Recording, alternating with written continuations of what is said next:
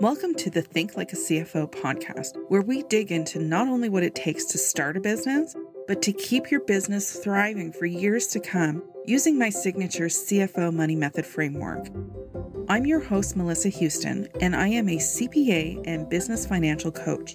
I have over 20 years of experience in business, and it is my passion to share my knowledge of business finance and personal finance with other women. You can also follow me with my column at Forbes.com or my column with Entrepreneur.com.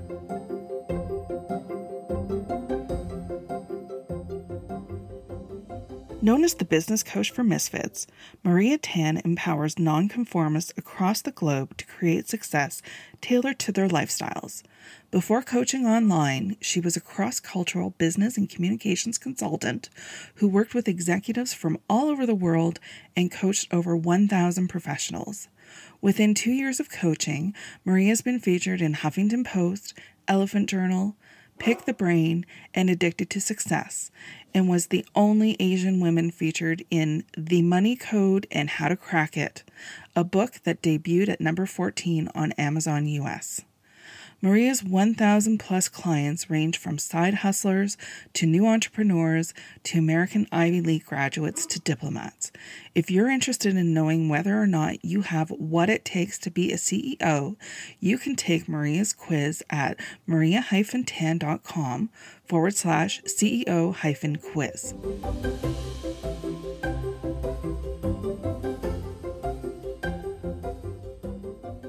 Maria, I am so happy to have you with us this morning. How are you? Very, very good. It's a pleasure to join you, my dear friend Melissa. I'm so excited to be sharing with your audience some great tips, some great behind the scenes of running a business. Awesome. Before we get started, I'll just give my listeners a little backstory about the fact that you and I are friends. We met through a course and we became fast friends. Yes. That's how we ended up together. So before we start, jumping into all the great advice that you have for listeners, can you just give us a little bit of a backstory as to how long you've been an entrepreneur and kind of what what happened to get you there? So, I always tell people that I started my entrepreneurial journey when I was 6, long before you know what business is, what supply and demand is. For me back then as a child, I just really wanted to get rid of the waste in my house and get what I want. So in my culture, and I'm originally from the Philippines, and within my, the Philippines, I uh, my family is considered Filipino Chinese. So we are we have that East Asian culture, and at the same time, we have that Filipino culture of gift giving.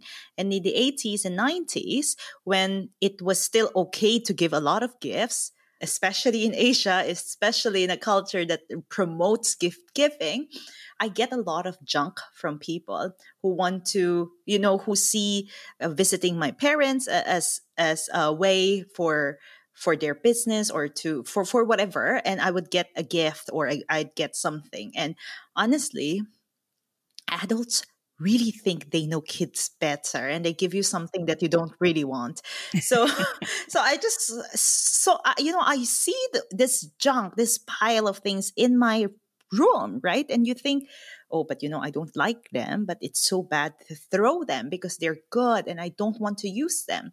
But what I wanted was to visit arcades.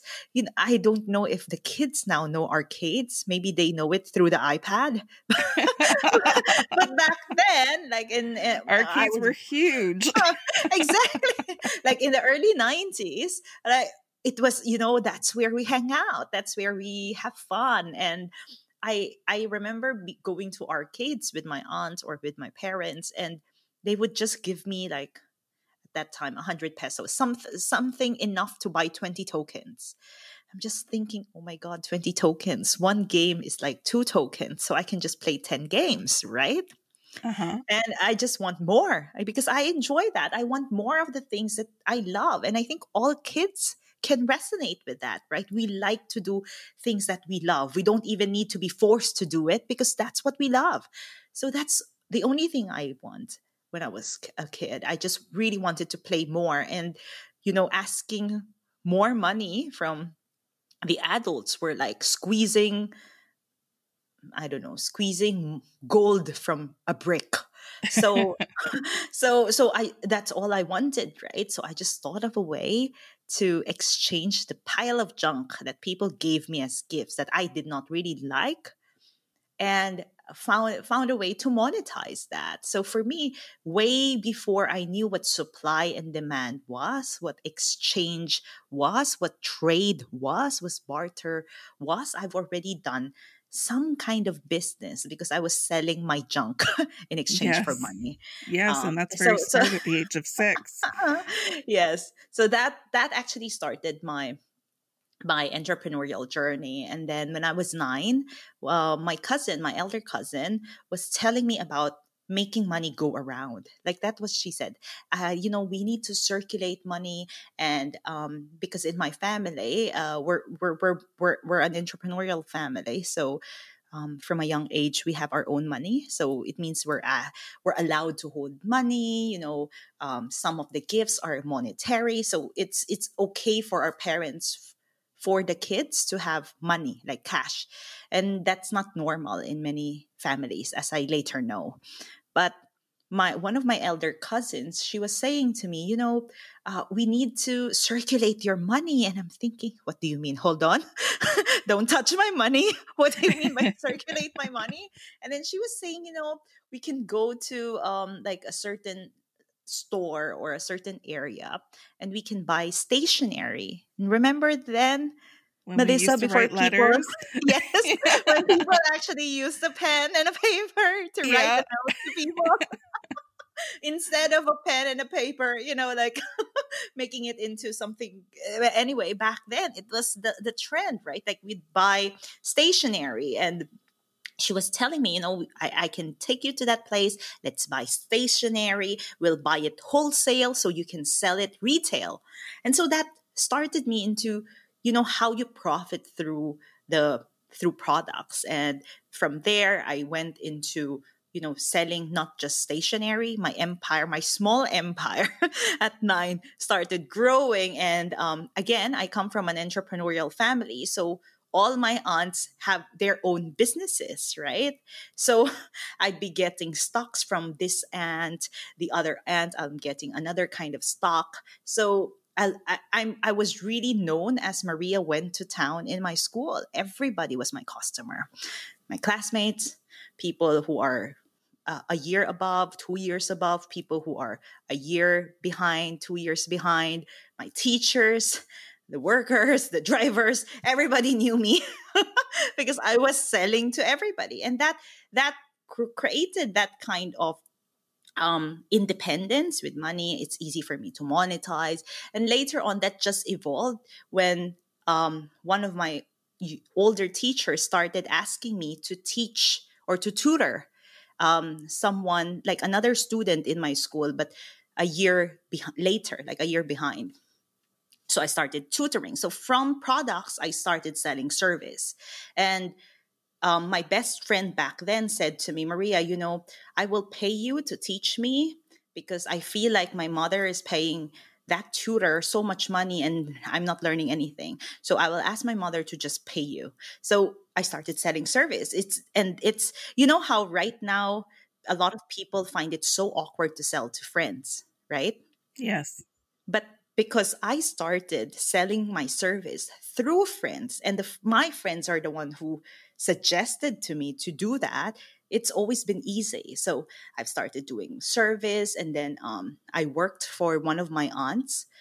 Um, who has a retail company. So I learned quite a lot. And then later on, as I evolved, I learned all almost all the things about business. I started consulting in trading. I started consulting in market penetration and as you know years pass by you you have more diversified experience in entrepreneurship so when obviously you had a real love of entrepreneurship when you were younger.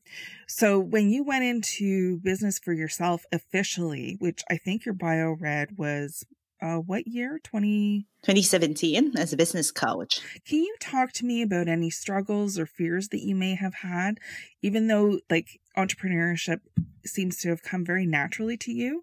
Did you have any fears holding you back? I, I think I already overcame a lot of the fears, and among them are first, that second class citizen, because I come from a developing country, and in my country, it's okay. But when I lived abroad, there was this bias, prejudice, racism, ageism, sexism. It was tough and even in and that that was tough in many aspects of my life right the in business dealings in um, in opportunities um, even even in social networks or social functions so before i started doing online coaching, those were the things that you already had to overcome because uh, I came from the Philippines, which is a young population, and I went to Taiwan and I lived there, which is an aging population. It's an older culture. So people were already measuring you up because of your age, right? So there's a lot of you have to know how to present yourself as mature and as someone that can be heard, that can be visible. So there's a lot of things that I already overcame. However, having said that, because most of my business and my transactions came from word of mouth. So when I was young, it was word of mouth. It's it's you know people that you know, people that you see. And then when I did consulting, it's the same. Like there were times when I had to pitch myself, but it's not that much of a big deal because you know who you're talking to or there's contact you can bring people up or for me i always think if i don't know anybody i'll introduce myself but still there's that face to face contact there's human to human interaction when i went online it was online it's like you don't even know who you're talking to in the beginning right like you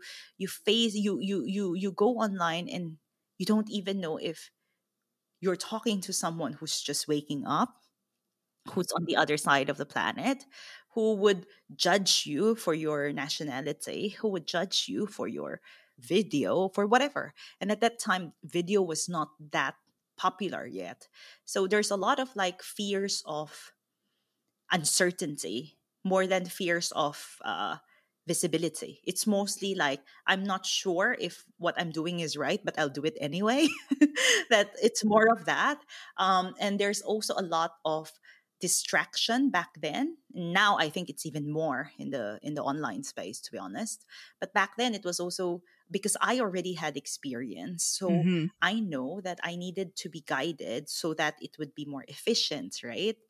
But I was hiring coach after coach who had less experience than me in terms of diversity, business diversity. And they have maybe an experience on, you know, selling a coaching program. It's more mostly like one way. And I think it was so hard for them to see my vision because I went into the online coaching or I went into all this because I really want to create lasting and big impact, right? I was already comfortable, but this this new phase is it's it's scary because you have to rise above all the limitations right? Rise above the limitations of oh but i i'm just from a small country and you're now talking to masses. Unlike before when i did consulting it was mostly b2b so the the the people that you're talking to are more con- in a controlled environment or it's more of the same kind of people already businesses for example people who have already who know you one way or another through one contact or another suddenly you're you're just put into this big ocean and you don't know where to swim and how to swim well let's dive into how you do impact your clients and how you help them because i love to hear about this so for me, when I think of business, I think of sustainability. Most of the time, when you hear business coaches online, they are about creating your first offer and keep selling. So for me, that is sales. So if you look at entrepreneurship and the big companies, you have the sales department, the marketing department, but those two are not the only departments of a company. So what I do, I really help my client first define their vision. And this is something that not many people do apart from so close your eyes and think of your perfect business and your perfect ideal client i don't do it that way the first thing i help my clients is to really articulate what is the perfect world for them? In that perfect world how much are they making? In that perfect world how much time are they working? In that perfect world have they retired? In that perfect world what is their family like? Oh i like that because it's like reverse engineering right? They yes, can work yes. towards their goals that way okay. Yes but the first call will or the first call or the first mindset is always where is where am i headed what direction what am i wearing there?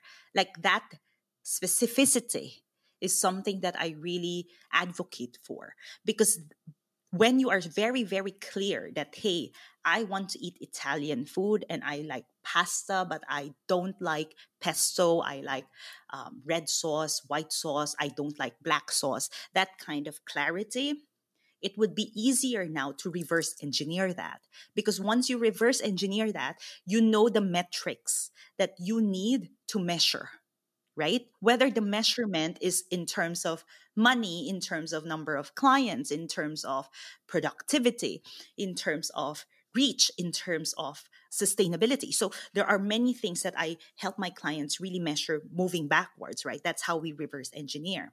So then once we reverse engineer that, we go from this is the perfect ideal world, 100%. And what is half of that? and then half of that what is 25% of that so i break it really down into a one digit percentage and then then now we build the bridge to that first milestone because that now is easier if you are so far from your vision it can be very overwhelming to think of something so big so I make sure that whatever we break it down to, it's accessible for the client. It's something that they can see. It's a little stretch, but something that they can see for themselves. And then usually what happens is after a few months or just a few weeks, all of that will double or triple because people don't think big you know you, if you think of what how much do you see yourself making they say something like 100000 or 200000 Okay. And once I reverse engineer that, they would be like, hold on, but I'm very near that. No, wrong. Let's go back. So we go from 100,000 to 1 million to 10 million to 100 million. Because again, we're not trained. Like people are not trained to think big. Why do you think it is that people aren't like that they, they hold back and don't think big? I think it's how society brought us up apart from the small 1%, right? Everybody, like even in my family, we're entrepreneurs, but there's always that play safe mentality. I think the world or the society really hated disappointments or failures. So they really try to limit our imagination so that we won't be disappointed, right? Like, don't think big or else you'll be disappointed. I think okay, all parents, yeah. it's not that parents don't want the best for mm-hmm. their kids, it's just what they think is best is something that they did not get. Mm-hmm. That makes sense. So, so that's why they're so eager to make their kids fall in line mm-hmm. and achieve their best, their version of best. Yes. So then once you get that vision in place for your client, walk me through the next steps that you that you work with them. Okay, so let's have an example here, Melissa. Tell me what is your what is the ideal world for you? I'll give you a fictitious example. Okay. Let's say in one to two years, I want to be making a million dollars of revenue. Okay, hold on. Let me stop that. Okay. Immediately, that's wrong because you put a timeline versus what is it that you want. Because timeline is very restricted. Okay. Timeline is based on logic, based on now, based on what I see if I can do now, right? So let let if I'm the fairy godmother and I ask you, what is the ideal world? Where do you see yourself? Why are you doing all this? Like, if you could make uh, wave a magic wand, where would I be right now? Yes, I would be in a beautiful mansion with um okay. a, a private chef. Okay, so you're telling me how you're living, but what are you doing? How are you being? I am helping people around the world with their business finances. I still love what I do and I still want to do it, but I want to get rid of all the the house chores. I want to delegate those. I want Okay, so let's let's not talk about Okay. what you don't want. Let's Okay. focus on what you want. So basically in this ideal world, you are you are the expert in business finances. Is that what you're saying? mhm. Okay, so let's say that your idea is I am the I am the go-to person. I'm the go-to expert of you know people knowing or understanding their finances, right? So when people think of you know I want to f- feel financial freedom or I want to have I want to know where my money is going in my business, they think Yes. Melissa, right? So if that is your vision, so basically who you are in that ideal world, you are the perfect you you are the thought leader in business finances then we now say how much are you making there and in that ideal world so is it 10 for you to be able to afford all that how much are you making? For you to be able to make those money how much are you reaching? So how much you're making is your profit right? Like how much are you making there? Because for you to have that mansion you're not making just a Mhm. 100000 you're not just making Mhm. 1 million. You're not just making 10 million unless you want your mansion to be i don't know in this in the, on the side of uh, yeah, the beach in Malibu. of of a ve- developing country. I'm not sure that Yeah. malibu you can afford that huh? Just- let's just be careful. So what i'm saying is for for for you to to really think about that right? Like how much are you actually making then to be able to afford your private chef to be able to afford all that right? At the same time how many people know you? Because not everybody that knows you will buy from you Mhm. right? So let's say I always tell people expect a 0.01% conversion rate, okay. right? So if 100,000 people know you, maybe one person would buy or 10 people would buy. That's already great. Don't think more than that. It's fine. It's already good. People always think, "Oh, I only have 100 followers and one person buy from me, bought from me."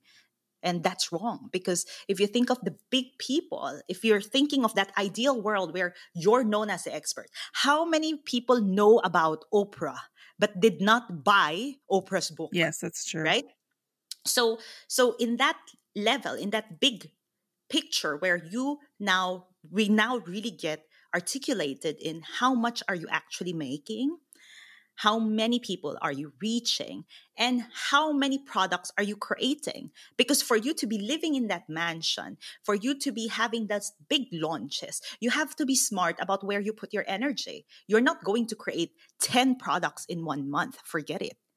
Unless your product is like a mug and different colors mm-hmm. Right? So after that we now break that down. Okay this is the ideal world. What is half of that? And we use those measurement because i will ask you what are your measurement? The money productivity how about family? Um, are we including children or no children? Um, are we including your number of books sold? Um, do you see yourself doing courses? Do you see yourself speaking engagements. So all of that I will put in the big picture in the ideal world and I will break it down in terms of numbers and then I will do what is half of that and then what is half of half of that. And I will remind people that half of that is not divided by 2 it's not like in my big in my ideal world I see myself making 100 million and half of that is 50 million. It's not like that because we don't reverse engineer and divide things by two. We're really saying what we're really asking yourself for me to say, I'm halfway there. How much am I really making? Because it's easier to double 1 million than $1,000, to be honest. In business, more money ha- give you more leverage. So I reverse engineer that until like 6% or 3% of the big vision, depending on the person. And then from there, then I will now create a game plan. Okay, what's the game plan? So the game plan now becomes if the 3% is, it would break down to something like a six figure year, most likely, right? Um, so let's say it's uh, I'm making a hundred thousand and I'm already creating, let's say, two books, or I've already created one offer and I've already reached 5,000 people, for example. I've already reached 5,000 people. I have three or four one on one clients. And these are the things that I will ask. Do you see yourself in 3%, working more with one on one or working more with groups? Do you see yourself selling products or selling services? Do you see yourself just being hired to speak? So depending on what they tell me at 3%, because again, we build on, in business, it's always about diversification, right? In the beginning, you cannot have too many offers unless, meaning too many products, too many, too many services, too many offers, unless you are 7-Eleven and that is your offer. But you cannot have too many or else it will confuse yourself you your energy will be split so the after we define let's say if you tell me melissa actually i see myself doing more one-on-one because i know that's where that's what i can handle energetically and my capacity. Number two, I feel like that's where I can make the most money and with li- little effort. Um, number three, I think one on one, it's easier for me to manage. Okay, then now I we now do a game plan we do an audit. How, where are you now? How many clients do you have? How many do we still need to reach your 3%? What are we doing to reach that client, to re- reach that profitability? And then at the same time, when you're telling me, okay, here are the things that I do, I will ask you now immediately is are these things, when it comes to output, are these output do they support your 3% or are these things for later when you're at 6% or 10%? So then we filter immediately what you don't need to do. Now, talk to me about profit because profit is absolutely one of my favorite words and I don't think that we use it enough in the business world. so, I would love to hear your discussions with clients around the topic of profit. For me, I just tell them, what do you want? What is the return you want for your effort? Okay. Because remember, profit is a word that is thrown around. But honestly, people don't really have a good relationship with money in general. So they don't understand what profit means. Mm-hmm. So when you when you talk to clients, how would you explain it specifically so that they understand? So I will say first, so tell me if you and I won't come from profit or business terms because it will confuse a person. And mostly when a person is confused, they get defensive. They will tell you.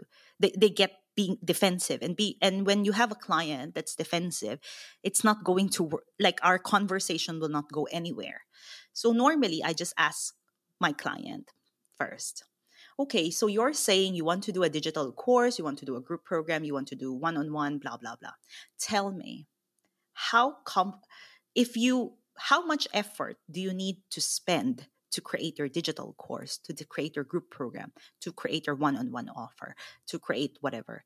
And if they, they then they will break it down. Then let let me ask that then the next question would be if you sell one today which of these offers will give you the best return? Of course they will say one-on-one right? I said okay do you know that it's the same effort to create a one-on-one program and a group program and the, or a digital course that you will sell for $5 and a one-on-one program that you will sell for $5,000. In the beginning, when nobody knows you, the people that will buy from you are the people that resonate with your message the most. And this is the reason why you need to focus on one on one in the beginning. Because when you focus your efforts in digital courses or the small courses, unless you have the numbers to leverage, meaning your reach, unless your reach is big enough to have that 1% conversion.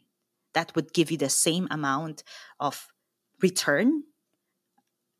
I would work on one on one first while you build your network. So, this way, you already have some profitability. Maybe not a lot, but it doesn't dig you deeper into the hole in the beginning, when you're excited about your business, you will tend to invest a lot especially if you're inexperienced. You will be buying things you will be buying programs you will be you, you don't know where to put your money because your image of a business is very limited to what you see. And this is the truth. So when i sh- explain it from that perspective They would see that, they would understand that. And then the next thing now becomes let's talk profitability. Let's talk now your offers. Let's talk now how we can leverage or what expenses we can cut out right now. Okay, so when you're talking about profit with them, you do go through the numbers as well? Yes. Yes. Okay. But later, that is the last. You don't talk okay. about it because that can unfortunately numbers can overwhelm people. Even if, and and for me I I always tell people I have a calculator for a brain. So it's easy for me to run numbers in my head, mm-hmm. but for for most of the people it really triggers them. And I figured that out once because when I relaunch a program, I usually do a beta test, meaning I have a focus group just to test if, you know, if they understood it and I would have different people. And one of the feedback I got was, Maria, can you please not put any numbers in your or any arithmetic or algebra in your example? because I tend to be to say something like, for example, if you think I want to X Y Z, I should do one, two, three. Mm-hmm. Even that, that customer said to me, that scared me. Now, how do you react to that? Do you feel that they need to work through the fear or you just. No, I realize. Remember, that program was a group program, is a digital course. So, unless that's one on one, you don't pick up on that. So, those things uh, what I, I realized was I asked her, so how would it make, how would that be more accessible for you? And she said, maybe just give an example. Just say something like, I want to buy a house. So I should start planning how to buy a house. So make it more words versus some intangible, more intangible that makes people more overwhelmed. That's why when you ask me about how I walk uh, or how I create the vision, I ask you for your vision because it's more tangible. So then take us through how a client when they come to see you at first and then you work with them through the program and teach them about all the numbers that we were talking about the profit the reach and the output when they are at the end of the program, can you tell me about the transformation that a typical client would feel after working with you? Confidence. The the the mere the one thing that I tell people is yes, our reach is important. Yes, our our output is important, but remember at the end of the day, profitability is why your business is here, right? So they're more confident about what they offer because I really suggest them to do one-on-one program first. When you are paid immediately for your genius, it's a different energy. so they have confidence because now it's easier to sell. Now they don't see selling as something pushy. I just always tell people when you think of selling, you just think you're sharing something. You just think it's your friend and you know if you if you like your friend, don't you like to share the good things that you buy? So you have to fall in love with what you're offering because what you're offering is so special. How many people are not empowered about numbers? Right. So just be happy about inviting people to try. It's like asking people to come to your house and taste coffee. So one it's confidence. Number two it's focus. They know where to focus right? It's not the even sometimes they they shock me because they will say maria i don't think we need this right now. So for me, it's a very big sign that they know their focus, right? They know their focus, they have clarity, um, they have certainty of what they offer because you might be confident in what you're selling, but if you're not certain of the results it will bring others, it will also make you doubt yourself. Perfect. I love that. And I love the empowerment for clients and money and numbers and business is so much about numbers and I love how you broke it down and explained it to us today. Yes. So if you had one big takeaway that you want listeners to walk away with, what do you think that would be from our talk today? Mm. So if you really want to open your business, remember this. What separates a hobby and a business is numbers. Yes, I love that. because a lot of the business coaches or the business mentors, when they talk about business, they just talk about creating your first sales offer or creating your marketing. And unfortunately, numbers in business is not just about writing money Mhm. affirmations. So true. So true. So, this has been a wonderful talk today. I love hearing your perspective. Obviously, we come from very different perspectives when it, when we approach money, and it's always great to give listeners different ideas and different ways of looking at things because it's not we don't want tunnel vision. We want to experience different experiences and and uh, perspectives. So, I've really enjoyed having you on the program with me today. Pleasure. So if people want to get a hold of you, because I'm sure they're going to, uh, where can they find Maria Tan? So you can follow me on Instagram. It's my second home. But if you're just wondering if you have what it takes to start a business or if you have what it takes to create an empire, I have a free quiz for you called How Much of a CEO Are You? Because there are many Who doesn't love quizzes? exactly. So that quiz um is I think it's in the show notes and that's something that you can take. It's fun. It gives you an idea of who you are as well and how you can grow better into being a CEO because I believe everybody of us have what it takes to be a CEO, to be a businesswoman, to be a businessman, but we just need some direction, some clarity, some solid advice, and some numbers. Excellent. Thank you so much, Maria. Thanks for listening to the Think Like a CFO podcast with Melissa Houston, CPA. If you've enjoyed this episode, leave us a review. Your ratings and reviews help more people like you find our podcast. Don't forget to hit subscribe and share this episode with someone you think would love it. Until next time, I'm Melissa Houston, and remember, nobody will ever care about your business as much as you do. So never give your financial power away.